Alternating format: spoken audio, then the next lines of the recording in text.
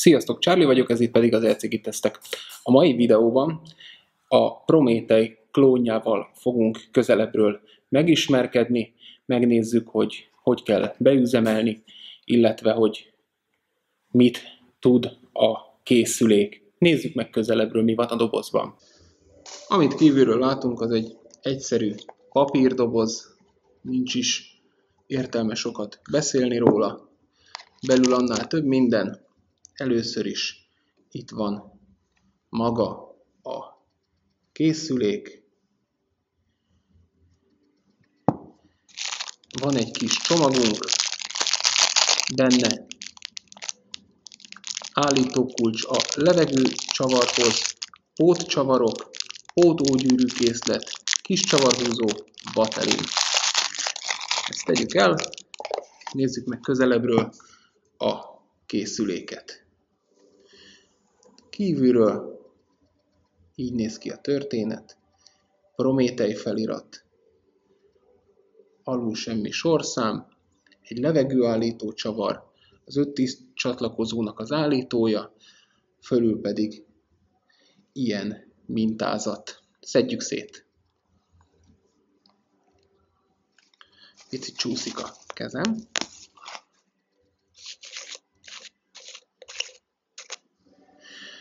Itt a felső lezáró elem, amit látunk, hogy itt van egy, egy pici kis cső, ami egyrészt arra szolgál, hogy ugye ez ilyen mélyen ül bele, tehát egészen direkt a szívás közben a, az élmény, tehát közel a tekeréshez szívjuk, nem egy ekkora kazán tér tetejéről kell szívnunk a levegőt és az örvénylő gőzt, a másik pedig, hogy ezt meg tudjuk tekerni vatelinnel is, és akkor vatelines üzemmódban tudjuk használni a készségünket. Ez is egy pozitívum.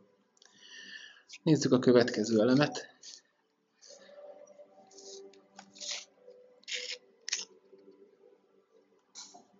Itt van maga a palást, alul, fölül menet, nincs benne semmi extra. Ez pedig az alsó báziselem.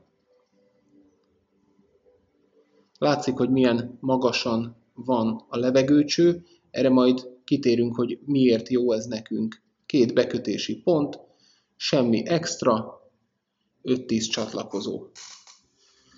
Amit tudni kell egyébként erről a készségről, hogy ez ugye a az ukrán Prométej V2-nek a klónja, ami pedig titániumból van. Nos, az a jó hír, hogy ez is titániumból van.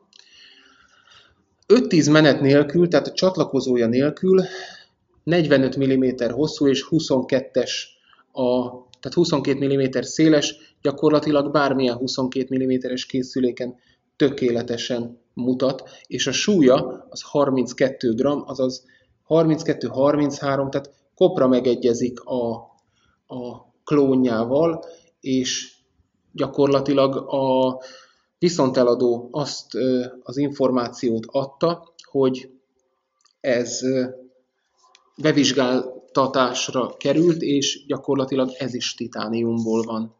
AIV. Nézzük akkor, hogy hogy kell egy ilyen kazánt beüzemelni. Én, bocsássátok meg nekem, de mostanában sajnos vagy nem sajnos olyan jó tekerések sikerülnek, hogy én ezt sajnálom kivenni belőle, meg hát tekerős videóból M plusz 1 van már a világhálón.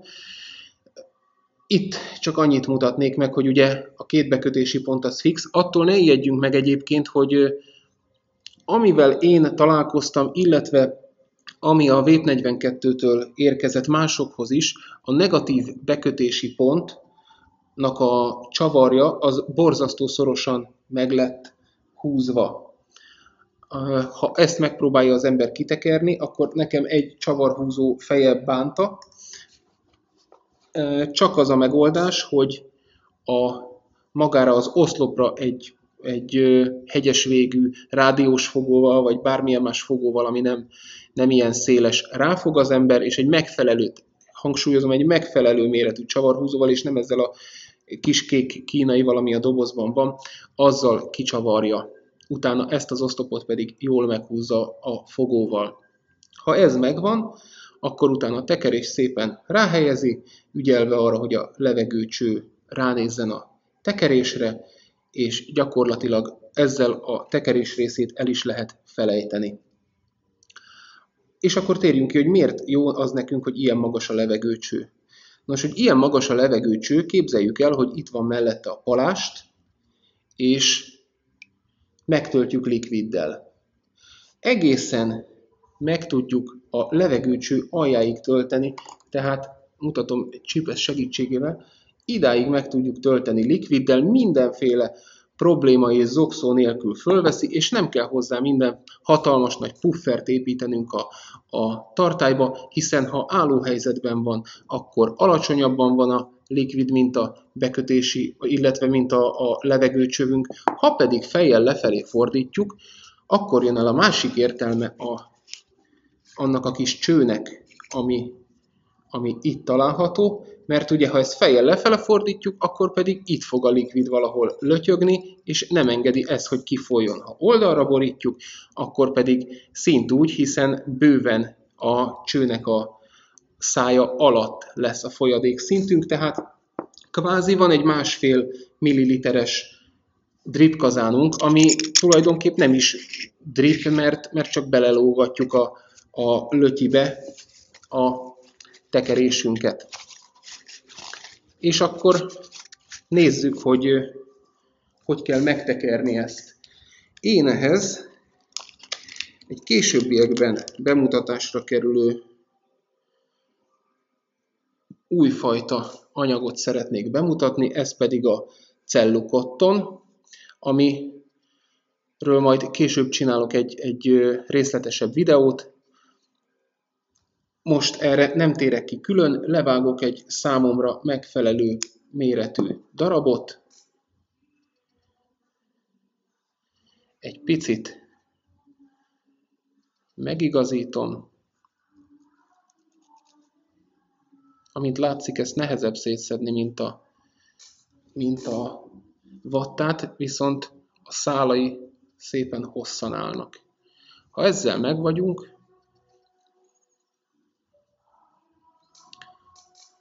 akkor én egy modot hívok segítségül, amire ezt rá fogom tenni, hogy hát ha úgy könnyebb lesz a dolog. Itt van a készség, itt van a vatta, a végét egy Picit elvékonyítom. Meg sodrom.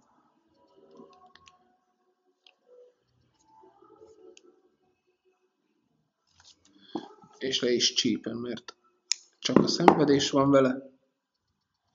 Átdugom.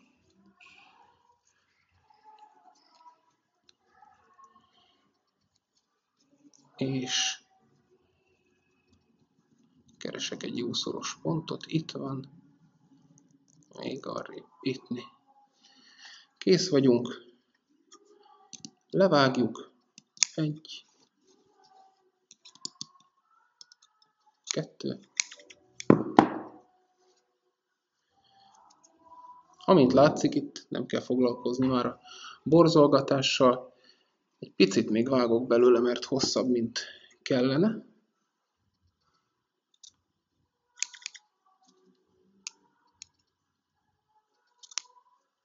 Úgyni. Ha megnézzük, ez pont a kazántér, a báziselem aljára ér le. Más dolgunk ezzel már nincsen. Fogjuk a falástot,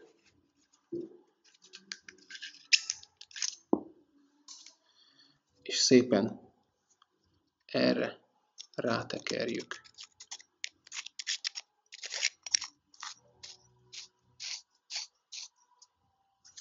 Ha ezzel kész vagyunk, ott van benne a tekerésünk, fogjuk a likvidet, mindenféle aggodalom nélkül becsorgatjuk.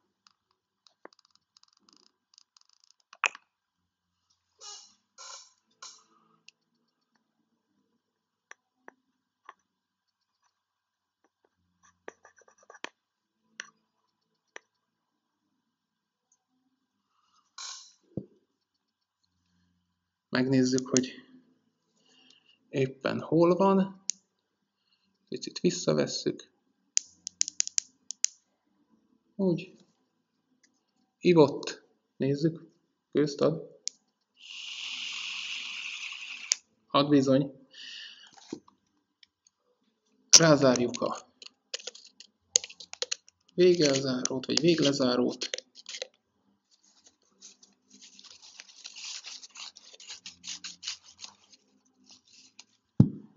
Keresünk egy megfelelő drippet.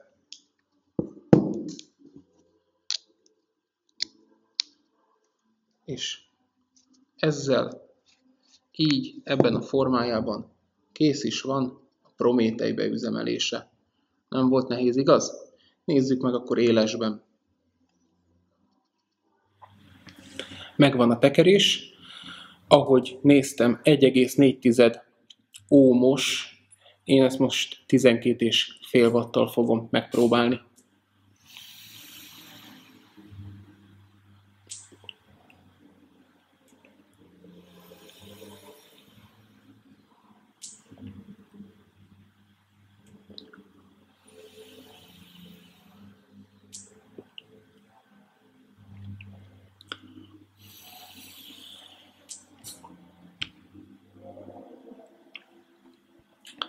Hú, volt szerencsém megkóstolni annó egy budapesti kerekasztal találkozón ennek a, kazánja, ennek a kazánnak az eredetiét Belineától, illetve Beline a fórumtárs kazánját.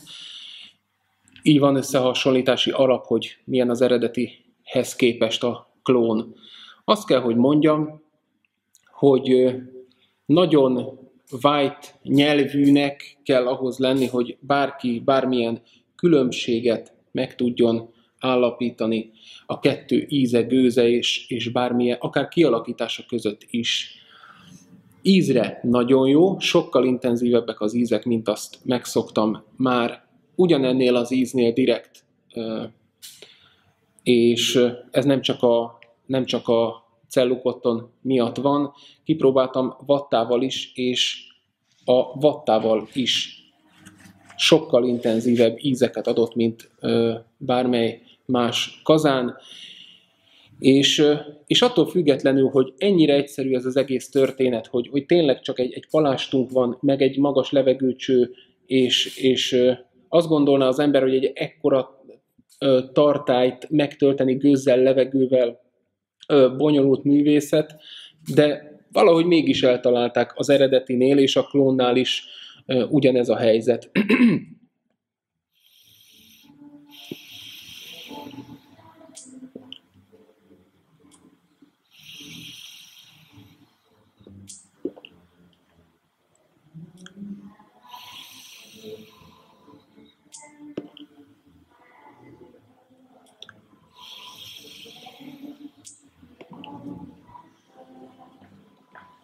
A gőzével sincsen probléma, és, és melegedni sem melegszik úgy, ahogy azt az ember elvárja mondjuk, vagy várná, vagy gondolná.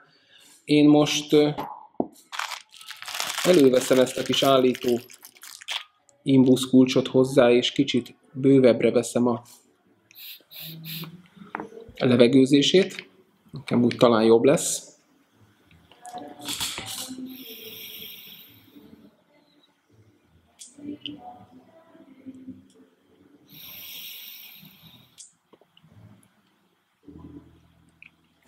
Ezzel a drip üzemmóddal semmi gond az égvilágon nincsen.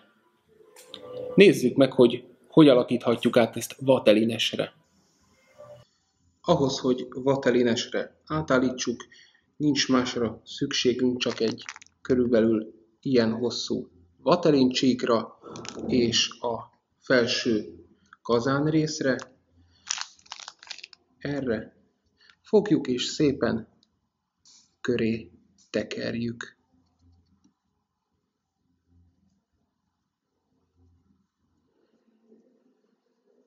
Ha ezzel megvagyunk, akkor fogjuk a kazánpalástot,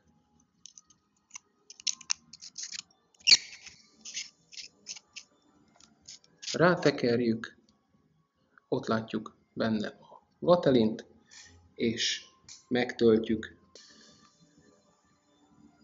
szépen ide az oldalára, rá csorgatjuk a likvidet.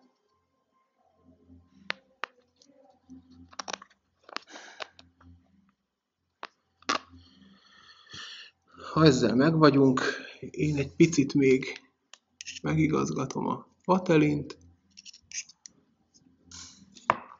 és csak arra kell figyelni, hogy a tekerésben lévő vatta, ami idáig lefelé állt, az most kunkorodjon fölfelé, belehelyezzük a kazántérbe,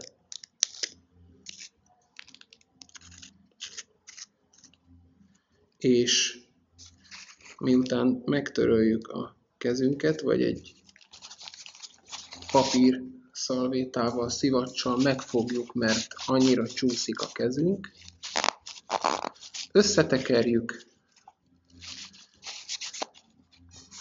és kész is van. Kész a vatelines üzemmódra a kazánunk. Nézzük meg, hogy így hogy fog teljesíteni.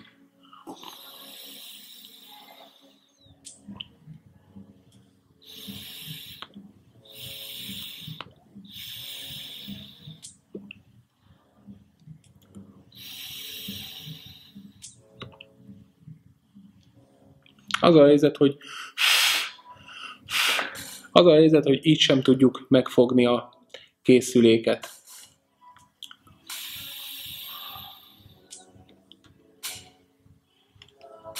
Jó ez hogy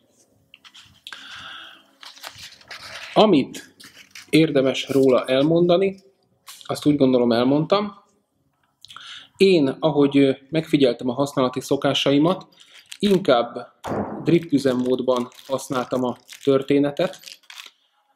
Egyszerűbb is beüzemelni, és nem ad annyival többet számomra a vatelines, hogy, hogy azzal elkezdjek szórakozni.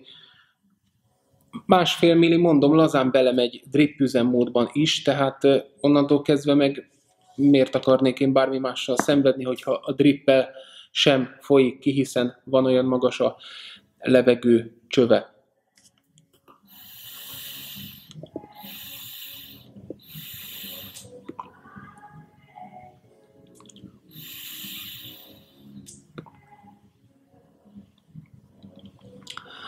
Az ízeket ugyanúgy adja, a gőze nekem egy picit melegebbnek tűnik a vatalines üzemmódban. Lehet, hogy azért, mert a vatelin egységnyi hosszával csökken a kazántérben keringő levegőnek a mennyisége, tehát még direktebb a történet, de azon kívül semmi más különbséget nem vélek felfedezni.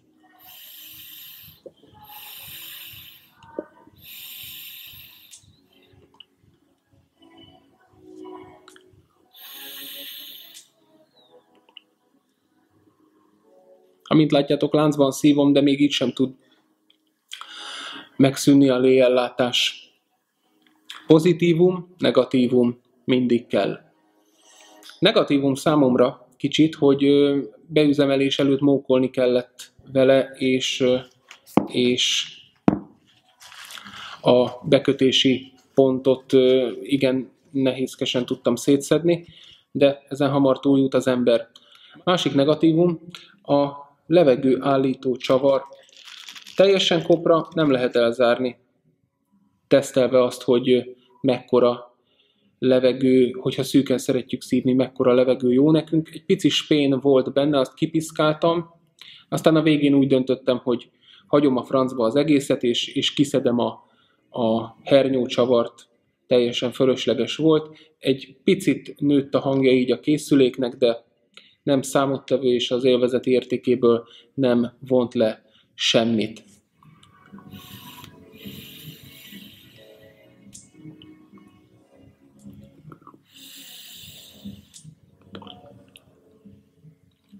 Pozitívum. Gramra kopra ugyanakkora, mint az eredeti titániumból van. nagyon jól adja az ízeket, nem forró a gőze, állítható a középérintkezője, állítható a mérsékelten állítható a levegő állítása, drip üzemmódban másfél milliliter kell lennél több? Nem.